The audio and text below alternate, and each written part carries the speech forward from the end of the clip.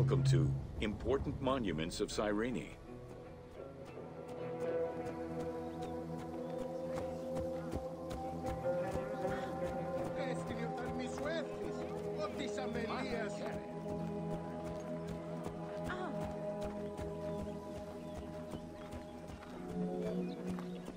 The sanctuary of Apollo sits on a prominent edge of the plateau of Cyrene, overlooking the Mediterranean Sea. It could be accessed either by the road from Apollonia via the necropolis or by the sacred way coming from the agora of the city.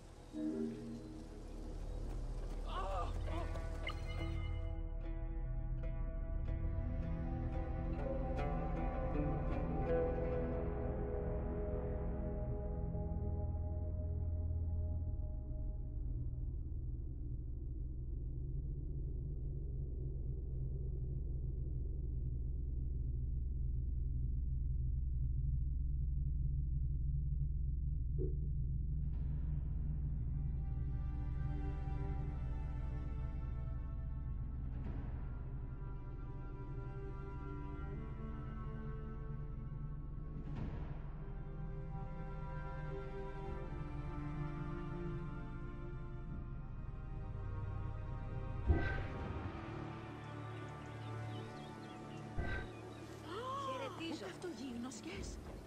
Εγώ συλλέξω. The abundance of temples and statues throughout the city reflect the various Greco Roman and Egyptian cult influences over the centuries. Temples dedicated to Apollo, Cyrene, and Zeus stood alongside those of Ptolemaic gods, such as Serapis and Isis. Numerous fountains were decorated to represent other gods, including the city's namesake, Cyrene.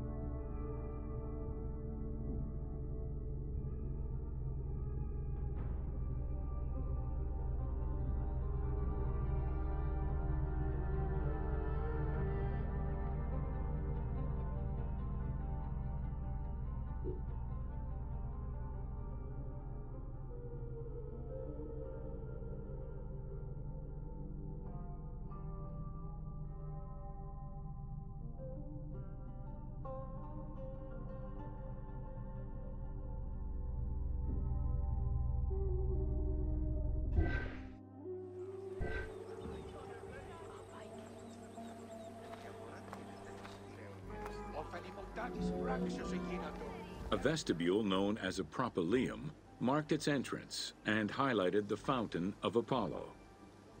God of the sun and of protection, Apollo was an important deity to both Greeks and Romans. The sanctuary built in his honor was considered to be sacred.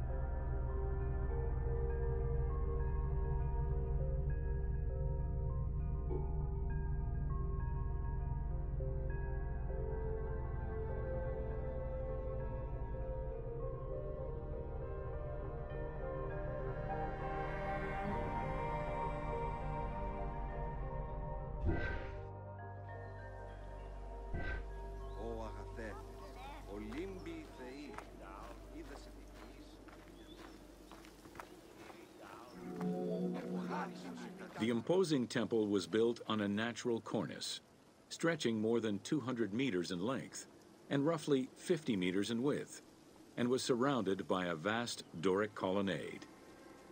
Sections uncovered by archaeologists indicate restorations to the columns were made between 115 and 116 CE.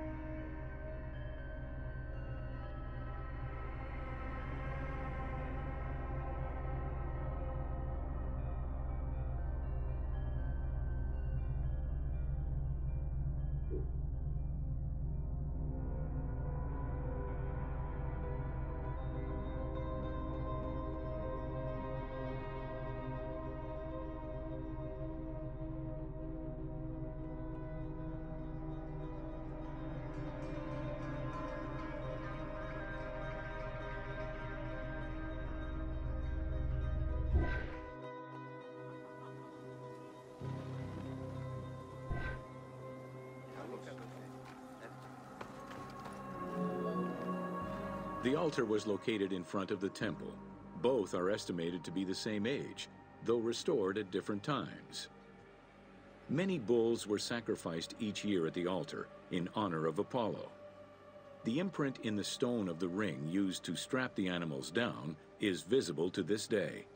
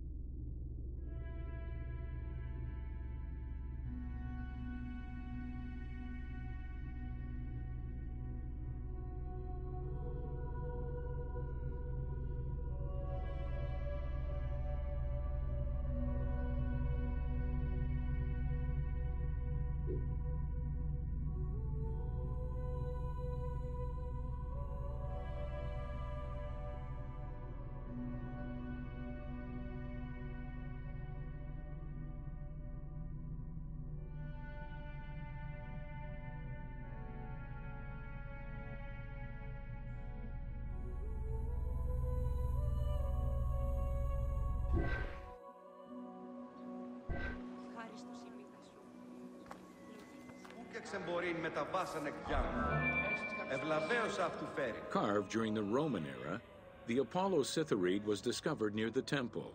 It is considered an important archaeological find. The statue of Apollo was in pieces when it was uncovered. Remarkably, most fragments were found, and the restored statue is currently at the British Museum. The team extrapolated the statue's final look based on the current partial reconstruction and placed it inside the temple to reflect the patron deity of the area. Ζήνων, χωρ ζήνε ο Υιός, δραχμένων πάνη διατίθεσθε δούνε,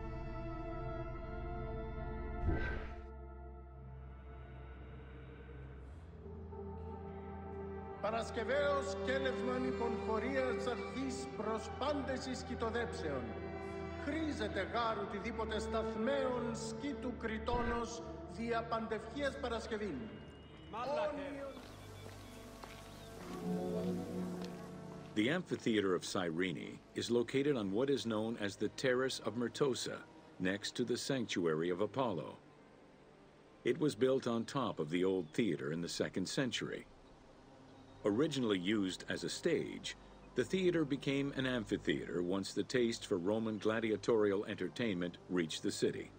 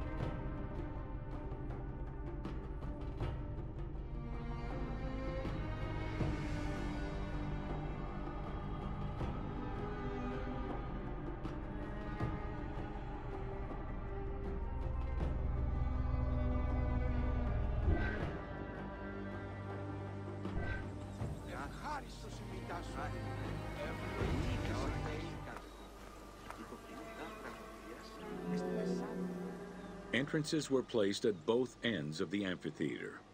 A wall replaced the first two rows of bleachers as protection from the array of wild animals in the ring.